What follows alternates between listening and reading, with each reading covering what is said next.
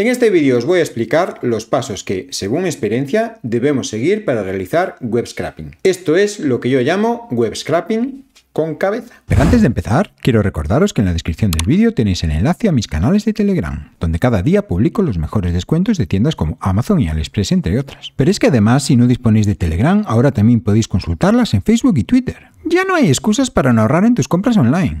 Friki. Aprendo, enseño, aprendo. Bien, ¿qué es web scrapping con cabeza? Pues web scrapping con cabeza es scrapping en headful.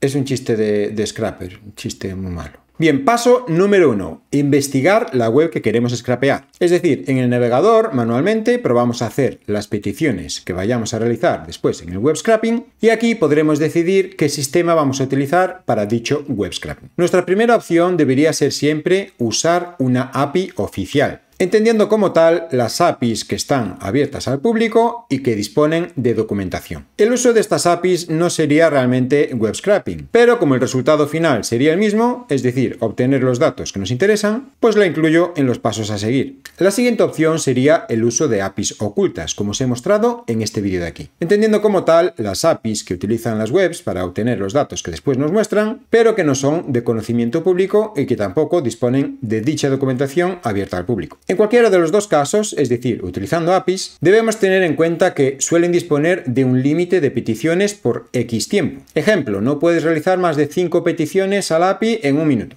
si no te bloquean el acceso. Pues bien, en el caso de las APIs oficiales, esta información suele estar en la documentación, suele estar reflejada ahí. Y en el caso de las APIs ocultas, pues como no hay documentación, es todo prueba-error. También debemos tener en cuenta que la API nos devuelva los datos que necesitamos, que no siempre es así. Y tanto si no nos devuelve todos los datos que necesitamos como si no podemos disponer de API, pues es cuando entraría en juego la siguiente opción, la cual sería el web scrapping propiamente dicho. Es decir, realizamos la petición con URL lib o con requests y utilizamos Beautiful Soap para estructurar los datos del código HTML. En este caso, como ya os mostré en este vídeo, debemos tener en cuenta si la web hace uso de JavaScript para mostrar los datos, ya que como sabéis, estas librerías no pueden ejecutar código JavaScript. Y si se da el caso de que la web usa JavaScript para ello, pues pasamos a la siguiente opción. Y esta es Selenium la cual utilizaremos tanto si todo lo anterior no es factible como si por lo que sea necesitamos interactuar con los elementos de una página web. Es decir, hago clic aquí, me lleva a otra web, ahora hago scroll, etc. En el caso de Selenium en Python, lo más recomendable es utilizar la librería Undetected Chrome Driver, que ya os mostré en este vídeo de aquí. Y esto es porque mediante el uso de JavaScript los servidores pueden obtener muchos datos de nuestro equipo, tanto de nuestro equipo como de nuestro navegador, como de cómo interactuamos con su web. Y aquí distinguiría dos partes. La primera, el navegador. Es decir, mediante JavaScript los servidores pueden tener acceso a muchos datos del navegador, muchos de los cuales ya le indican al servidor que el navegador está siendo automatizado, es decir, controlado con un programa. Y esta librería nos ayudará a evitar esto. Y la segunda parte es nuestra interacción con la web. Es decir, si hemos superado el primer paso y nada más arrancar el navegador no han detectado que está siendo automatizado, los servidores pueden detectar que lo está haciendo dependiendo de cómo interactuemos con su web. Y para evitar que nos detecten, lo mejor es interactuar con cabeza. Es decir, para que al servidor le sea más difícil distinguir si la web la está utilizando un bot o una persona, pues lo más lógico es hacer que nuestro bot interactúe con la web lo más parecido a cómo lo haría una persona, especialmente en lo que respecta a los tiempos. Y aquí fijaos, os voy a contar una experiencia personal que va a hacer que lo entendáis perfectísimamente. Hace un tiempo creé un programa que scrapeaba unos cómics de una página web, a los cuales solo se podía acceder pagando. Y aquí el Tito Friki pagó. Y el programa lo que hacía era descargar todos los cómics de la web. Y no penséis mal, porque no era con la idea de venderlos o publicarlos para que estuvieran accesibles a todo el mundo. Para nada. Esto lo hice por dos motivos. Primero, era un reto. Y segundo, era para poder leer los cómics en determinadas ocasiones que no tengo acceso a Internet. Y esta página no ofrecía esa opción. Tenía que ser online sí o sí. Total, que puse el programa a funcionar y cuando llevaba ya unos cuantos descargados, de repente se me bloqueó el acceso. Me banearon, habiendo pagado y todo. Total, que con mis huevos cuadrados voy y les contacto. Digo, eh, cae de lo mío, ¿por qué no puedo acceder? Y me han contestado esto. Gracias por contactarnos. Deseamos comentarle que su cuenta ha sido bloqueada porque se ha registrado actividad ilegal sospechosa. Y me hacen una serie de preguntas. Dice que nuestro sistema registra que usted solo abre los capítulos y no hace scrolling para leerlos. ¿Podría explicarnos la razón por la cual lo hace? ¿Cómo explicas esto? Obviamente el programita accedía a cada una de las páginas de los capítulos, extraía los enlaces y los descargaba a saco. Además, para ello utilizaba Requests y Beautiful Show, con lo cual iba todo súper rápido. Total, que yo lo tomé como un juego y dije yo, a ver hasta dónde puedo llegar. Y les envié este correo. Creo que ya sé por qué puede ser. El otro día estoy una excusa barata y muy poco creíble, la verdad. Pero dije yo, a ver qué efecto surge. Y esto es lo que me contestaron, que resumiendo me vuelven a preguntar, nuestro sistema registra que usted solo abre los capítulos y no hace scrolling para leerlos, es decir, abre los capítulos pero no desliza la pantalla para leer. ¿Por qué haces esas cosas? Además, nos dice, el tiempo que usted toma para leer cada capítulo no es común, ya que usted solo le toma unos segundos entre capítulos. Es que soy de, de lectura muy rápida yo.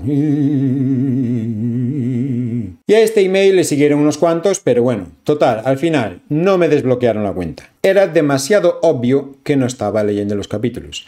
No estaba haciendo web scrapping con cabeza. Resumiendo, las webs suelen tener bots para detectar otros bots y sus sistemas de detección pues simplemente buscan patrones que diferencian el comportamiento de una máquina de un humano. Y volviendo a lo de antes, para evitar esto, pues hagamos que nuestros bots actúen como si fueran humanos. Y una de las páginas en las que los servidores hacen más hincapié en la detección de bots son la página de login y la de registro, es decir, cuando creamos una cuenta en la web o cuando accedemos a esa cuenta. Fijaos en el siguiente ejemplo de login. ¿Cuál diríais que lo ha hecho un humano y cuál un bot? Seguro que la mayoría habréis dicho, el de la izquierda un bot y el de la derecha un humano. Pues bien, yo os digo, los dos lo han hecho un bot. En uno es muy descarado y en el otro podría colar por humano. Y es que el tiempo que lleva a hacer una tarea con un bot y la que le lleva a hacerlo a un humano es un factor muy determinante para poder diferenciar uno de otro. En el ejemplo que acabáis de ver, concretamente en el de la derecha, el que podría colar por humano, lo he hecho de la siguiente forma. He definido dos funciones, una para hacer pausas esta función recibe un mínimo de tiempo y un máximo, que por defecto son estos, y realiza una pausa aleatoria entre el valor mínimo y el máximo, un time sleep, y otra que llamado tecleo lento. Recibe como argumentos un elemento